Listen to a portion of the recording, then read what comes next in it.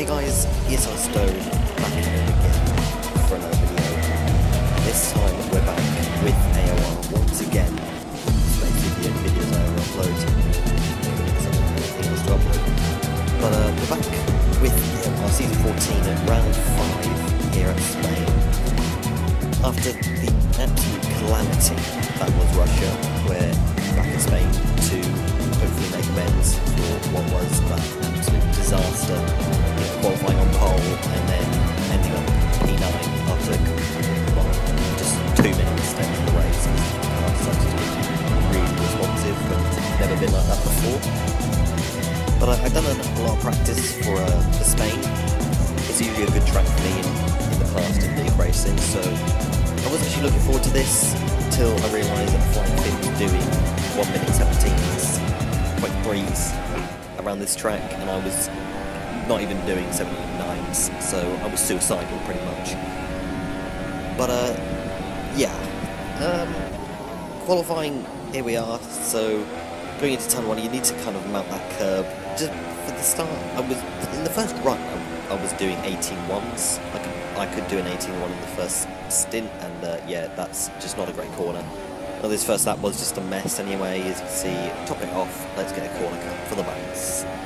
Yeah, yeah. But, uh, yeah, in the first stint, I was, I, I was able to do 18 ones in qualifying, and then I would probably be up by like three tenths in, in my in my second stint, and then lose it all in just that final chicane.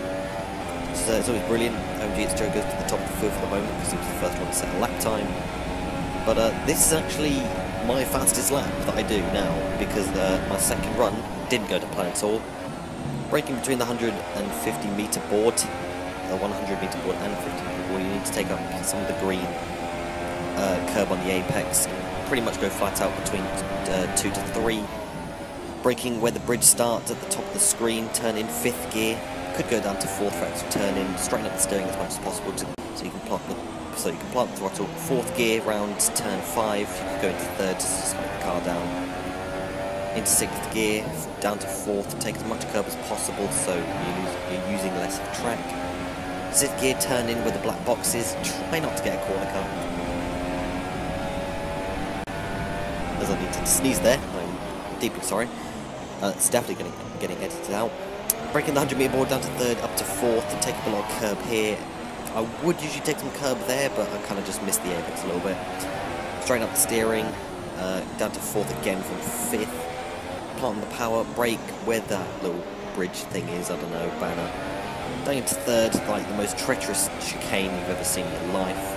This was like the most horrific narrated comment like hot lap. But uh, we did go into third at, at that point. But uh, like I said, that was my fastest lap, and obviously people would improve and uh, we did end up in P10. And we, so, we also inserted our front end into a Mercedes' bum, so it's brilliant. But Mercedes gets pole position in front of the Flying Finn and Alonso.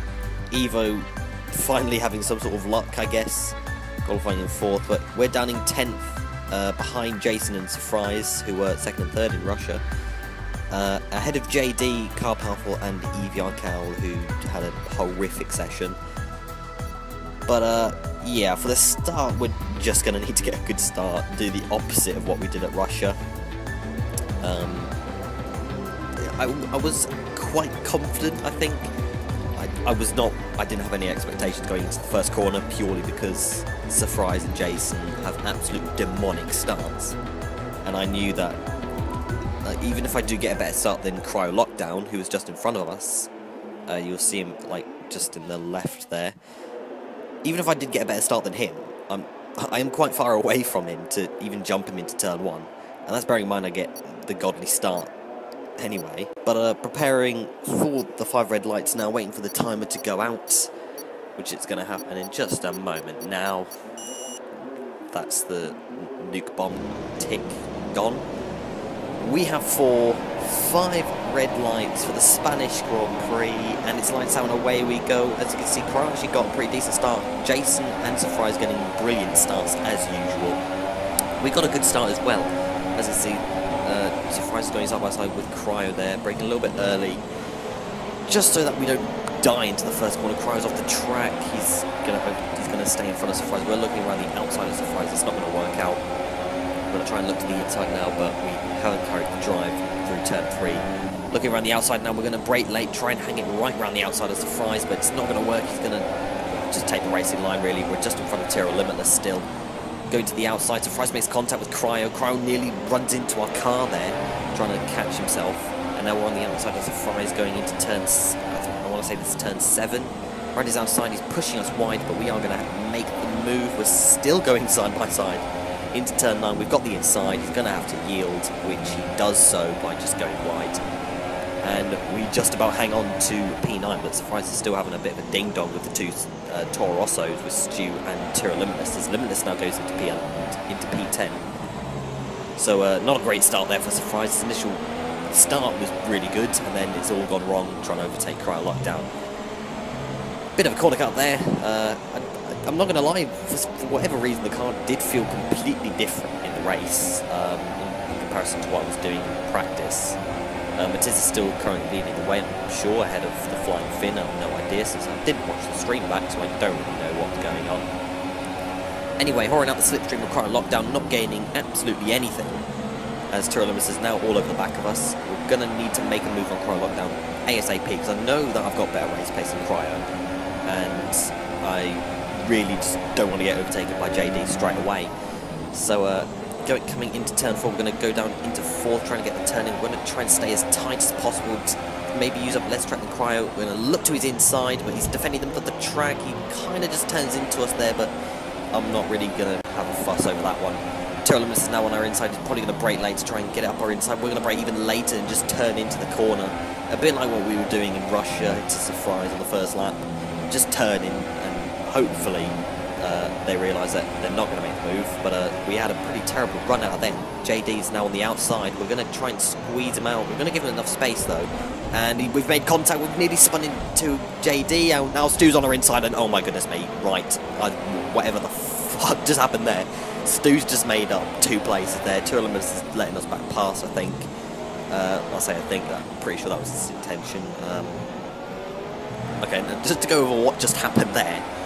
Um, uh, me and JD basically just have like a side pod of death, pretty much, where his car's, well, my car got glued to his, and I was getting dragged uh, to the left, no, to the right, sorry, and basically if JD didn't pull out of that, we, I, I don't know if I saved it or not. There was something that, that JD did there. But uh, uh, yeah, credit to JD for actually giving me the place back.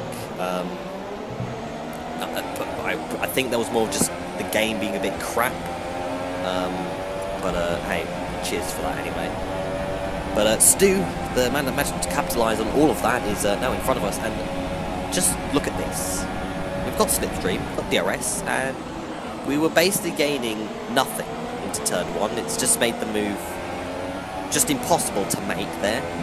Uh, turns out, oh, I, it was wasn't really to my knowledge, but uh, there is a slipstream glitch on this game, which is, um, you know, Codemasters. You just it is just awful at this rate. Uh, braking a bit too early for turn four, uh, turn five actually and now Tyrrell is now on our inside. We know he's a faster car. We're going to just sit behind him now. We're going to give him place. And uh, we kind of, I think, kind of got to the grass there. But uh, yeah, I was just going to use JD as a tow, pretty much going back to my old season 12 China tactic of like, well, throwback to that race, where I just tried staying behind uh, HCR Cupid, Dizzy Cupid, Bamley, TSR Lee, whatever the fuck you want to call him um, and just use him as a tow to, when he overtakes a car, try and capitalise on that on that straight away. But uh, as you can see, the, we kind of dropped off a little bit. We made a few mistakes. Um, my consistency in my driving wasn't brilliant at this rate, at this point in the race. But uh, Tyrrell is going to go for a move. Considering they're both teammates, uh, Stu's going to make that a little bit easy for him in comparison to what he would probably do for me. JD gets a little bit out of shape though and he holds up Stu, so now we're on the back of them and as you see JD's kind of holding us up here. But uh, yeah, expect JD just to pull away now, so we kind of need to make a move ASAP. We're not going to overall lunge into here because that would just be satanic. Uh, need a good run out of there, which we just don't get. At this point, I didn't even realise it was the slipstream glitch, or whatever the fuck it was. I just thought I was running, my aero's just too high. I was running 4.8, so I didn't know if he was maybe running like 3.7 or fucking 1.1 for all I know. But uh, we're on the back of Stu now. As you can see, DRS slipstream. I think he's got DRS as well, but he hasn't got enough of a slipstream on JD. But we just were not gaining straight. Maybe that's a little bit more understandable since he would think have slipstream, but uh, I don't really know with this game anymore. As you can see, JD has got built a little bit of a gap, so I'm just hoping that Stu has uh, hasn't got DRS, which has he got? No, he hasn't. So he's going to be defending this inside, which he is. We're going to look to the outside now, braking the 100 meter board just try and turn in the cars, just sliding though, and yeah, there was just, there's not enough space for us to hang around the outside all. We, we would just be looking for a crash. Uh, going a bit too wide here, so we're going to lose a bit of time. Stu is literally, I'm pretty sure he is the hardest person to overtake on, yeah, probably in AOR and possibly on this game. He, I think, plus the slipstream glitch, it was impossible. As you can see, he gets a bit of a messy exit out of the last corner and we're not gaining. We're only gaining with, as you can see, we tried to swap to the inside to maybe let him give us some room up on the inside, but uh, he just held his line, which is completely fair. But uh, yeah, still struggling to make a move. Having a look at turn three, but uh, yeah, that just wasn't going to work. Like I said, I think plus the slipstream glitch, it, it, did make the overtake just a lot harder to even attempt. So um, that was that probably put a dent in well, our, our charge, I guess. But uh, we're on the back of Cryo Lockdown now, once again, as uh, Tyrolemus has got past him. As you can see, JD is in that. I think he's actually ahead of. That might be OMG, it's Joe just in front there. Not 100% sure on that. Stu's going to keep going for another lap as Tyrolemus is pitting. Uh, we're going to take it a little bit easy into, into, the pit lane. We usually brake a lot later, but uh, not to run into the back of, um, of uh, Cryo Lockdown. That's still Martin, I think, just in front of us, who's actually made his pit stop there's Joe and there's Martin. So Martin's actually a pit stop in front of us all, pretty much already. Uh, well, he's quite, no, he's not a pit stop in front of us, it's just the wrong wording there. He's quite the distance in front of us, I should just say. Uh, NLR Evo, who must have been in that little pack, I guess, made an early pit stop, I'm guessing. Um, we, yeah, we got held up in the pits. Evo's jumped, well, he was going to jump us anyway, I'm pretty sure he's jumped Cryo and uh, he's actually battling uh, OMG, it's Joe. But uh, I could have sworn that Cryo got of Joe on my screen, but uh, it's not. Um, that's Stu, who's now, we had to go for an extra lap, and that's Evo currently going for a move on Joe. He runs it a bit hot, though, at turn one. He's having to defend through turn two and three. He's going to be quite slow. So Joe's probably going to have a look at turn four. You think he's side by side with him. He is. Is he going to make the move? I think he, they're going side by side, and me and Cryo are just sitting back with, with a popcorn out, hoping for a crash. We're looking at the outside of Cryo as he's putting his car right in the middle of the track. Uh, and Evo, I think he still hasn't made the move on Joe, so this is actually quite a good racing between those two. As me and Cryo are just being held up. Uh, Evo now makes the move on Joe, which slows up Cryo, and, well, I nearly went into the back of Cryo there. We actually made a little bit of contact on my screen. Cryo gets a sloppy exit out of there. So now we're in his outside, once again braking as late as we can. Hopefully just turn in, we, the car grips, we're getting squeezed out wide. He's given us the space though. We hang it around his outside to have the inside for the next corner. We've lost the rear end though. Can we put the power down to try and make the move? Yes, we can. In front of Cryo Lockdown now on lap 13 of 30, 33 actually, not 31, what I'm saying. But uh, now into P10 now in front of Cryo and Stu, so now we just got to hope that we're going to catch uh, Joe now. But uh, I'm defending the position now since I was just assuming that his air was just a lot lower than mine, which I'm pretty sure it was actually. Just about defending from Cryo through turn 1 and 2, and we do defend that successfully. And now it's all about just the grind now to try and catch um, Joe and Evo was sort of hoping that Joe would keep up with Evo, and hopefully I would keep up with them as we see them losing the rear end through turn four. But um, yeah, just hoping that uh, Joe will keep up, but uh, as we can see, lap 24, a couple, a good few laps later, about 10 laps later, uh, not really the case. But uh, for us, it was just a grind to try and catch up to Joe. I was making a lot of mistakes, but eventually I got my head down and really knew what I needed to do at this rate. I needed to keep up with Joe. I needed the, I needed the points really because uh, in in recent well Bahrain I, I didn't finish on the points. Um, Russia was just a mess when I could have probably come away with a podium. Race win if you're lucky, but uh, got over that one. And uh, we need points. That, that was the big thing here. We need some good points. P8 would give us four points. Uh, we are only on 12 points at the moment. I'm, I'm not points. But uh, Joe's genuinely a championship contender in our fight in the midfield. Um, I think he's had a lot of bad luck because he runs wide at turn 5. Uh, Joe, I think he's had a lot of bad luck um, in terms of qualifying and just overall crashes, mistakes in the race. So uh, he is actually having a very good race. I think he qualified a lot further up. So uh, to be battling with us is probably not what he wanted. But uh, we're all over the back of Joe now. We, I think our pace was actually stronger than Joe's. So uh, I needed to, to, somehow make the move because it, it was going to be impossible. As you can see, we're in the slipstream. And it's just not really doing anything. We're only gaining time, I think, thanks to just the DRS making our car quicker in a straight line, but we managed to make Joe stay defensive going into turn one, giving him a slow line. We're going to look at the inside of turn three. He's going to keep turning in. Little bit of a collision there. We just about saved the car. Neither of us spin out. We just lose a bit of time. Not going to lie, I shit bricks when that happened. Um, was sort of hoping Joe would force, uh, he, he, he, would move a little bit out of the way. But, uh, you know, he didn't, so fair play to him. Uh, I'm not going to, again, I'm not going to get into a, a, fuss over it. It's hard but fair racing, Rubbings racing. But, uh, yeah, we now we just need to continue the grind, because that, that's really our first opportunity to try and make a move. So, uh, as you can see, just, just another example of the slipstream just not doing anything We're just getting. I, I, don't know what aero Joe was running. Uh, I don't. And hmm, yeah. So speaking of uh, aero and everything else, we get a penalty. Um, it was deserved. I'm not going to lie. Um, I was doing quite well in practice about the corner cutting, but uh, yeah, clearly in the actual session, the mistakes are made, the nerves are, are kicking in, and uh, we make a pretty silly mistake there. Just brake a little bit early, turn in too early, and uh, we get a penalty. So that could be curtains on this place, but just for pride, I want to go for this P8. Maybe Joe has a penalty. Maybe we can still come away with P with P8 if uh, we don't lose too much time to Stu. Um, I wasn't actually aware of how far behind Stu was.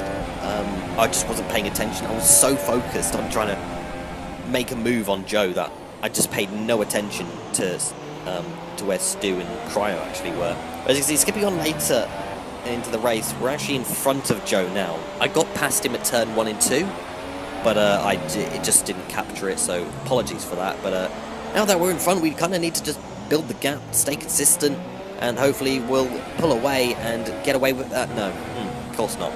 Uh, we make a mistake on the exit of the of the chicane.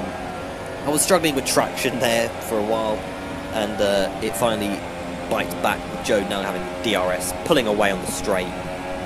And now, we've got three laps to try and make another move on Joe and make it stick. So lap 31 and 33, Joe is probably about half a second in front of us now. Our pace was better, better, better, but um, yeah, as you can see, we, we, lost. We've been losing time to Stu, which I just wasn't paying attention to. But uh, we're losing a lot of time. Plus our penalty points is looking a bit slim now.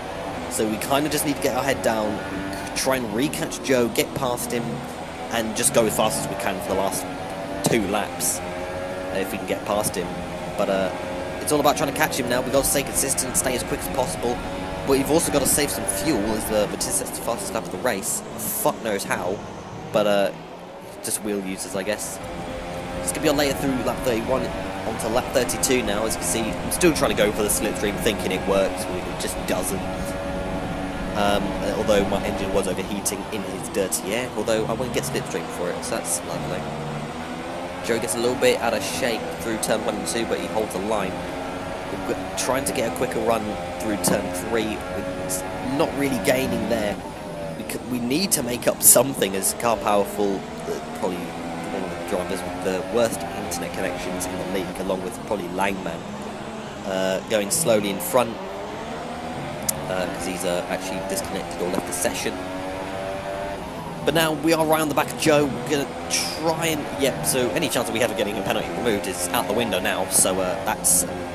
It, it's basically just a fight for pride at this point if Joe doesn't have a penalty. So uh, are we going to make a move to here? No, we're not. So turn 10 and... Uh, it, well, this last, this last sector is basically single file.